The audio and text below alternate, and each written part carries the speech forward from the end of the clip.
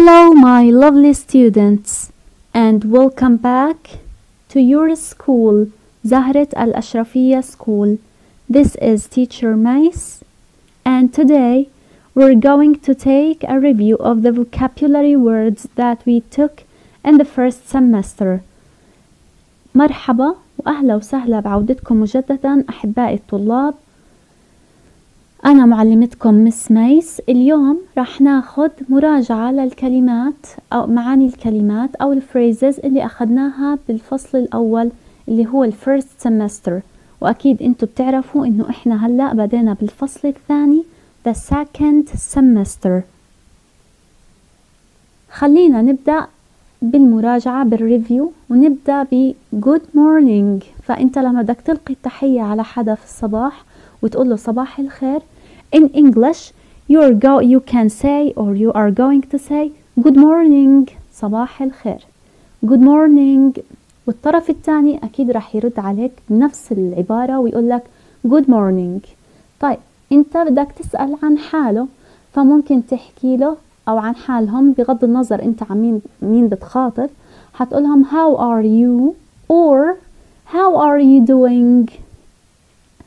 How are you? يعني كيف حالكم؟ أو كيف حالك؟ Or how are you doing? لما أنت بدك تشكر حدا على إشي قدم لك إياه راح تحكي له شكرا بالعربي وبالإنجليش thank you or thanks. Thank you or thanks معناها شكرا لك أو أشكرك. لما انت بدك ترحب بحدا وتقول له أهلا وسهلا شو بدك تحكي له بالإنجلش؟ Welcome. Welcome. عندي هون garden اللي هي الحديقة. واضح هذا من البكتشر إنه أنا هون عندي حديقة جميلة جدا. جميلة جدا. أخذناها سابقا اللي هي معناها gorgeous. Gorgeous. اذا garden حديقة. Gorgeous جميلة جدا. eat يأكل أو تأكل. drink يشرب أو تشرب. eat يأكل drink يشرب. لاحظوا معي بالبكتشر موضحة حالات الطقس. ففي عندي cloudy غائم في عندي rainy ماطر في عندي sunny مشمس في عندي snowy إنه في ثلج. هاي هذه الصورة بتح... بتوضح لي الطقس. شو يعني طقس بالإنجليش weather الطقس. weather الطقس. weather الطقس. هنا عندي طائرات اللي هي بالإنجليش planes or أو بتقدر تحكي airplanes.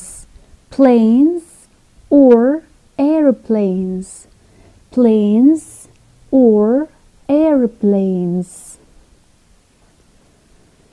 عندي هون غيمة شو يعني غيمة cloud. cloud. الأو واليو بلفظها أو. cloud. نيجي هون على sun شمس. sun شمس. عندي الكرة الأرضية أو الأرض earth. ما بلفظ الإي بلفظ الحرف الثاني اللي هو الأ earth. فما بحكي earth no. Earth. نشوف هون واضح إنهم طالعين رحلة فشو يعني رحلة؟ Picnic. Picnic. The next one. عندي هون مجموعة من الأصدقاء اللي هم friends. أصدقاء. Friends. Friends. واضح هون إنه أنا عندي المother والfather. وعندي daughter والصن يعني الأم والأب والابن والبنت. فهم عبارة عن family عائلة. family واضح إنهم سعداء which means glad or happy سعيد. glad or happy. هون في عندي birthday party حفلة عيد ميلاد. فلاحظوا معي عندي birthday باللون الأخضر هيا بالنص. فوقيها مكتوب كلمة party اللي هي الحفلة. party حفلة.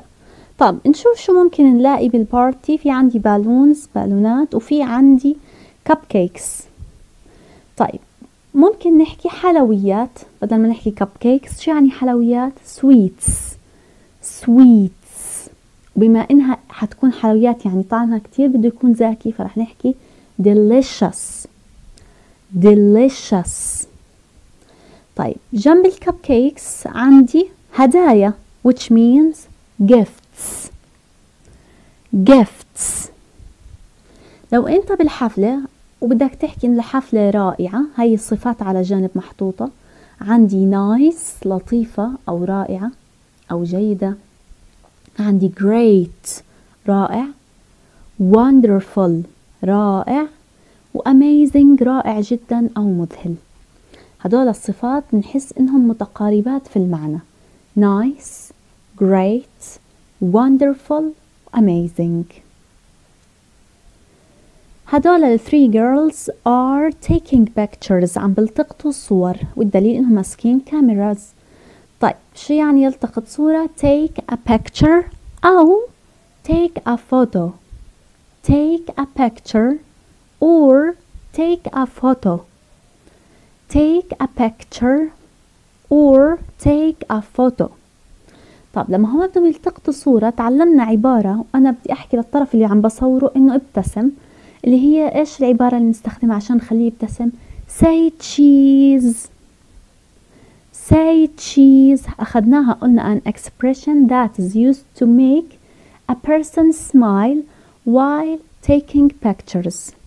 تعبير بنستخدمه عشان نخلي الشخص يبتسم خلال أو أثناء التقاط الصورة أو الصور. هاي عم بتنظف which means clean. ينظف. clean. نشوف هذا الولد عم بيحل واجباته. Do homework. يقوم بحل الواجب. Do homework. يقوم بحل الواجب. طيب في غيمة هيك طالعة من راسه على أساس إنه هو عم بيفكر. Think يفكر. Think يفكر. And the last word آخر كلمة اللي هي robot رجل آلي. Robot رجل آلي. And that's it. Thank you for watching. Goodbye.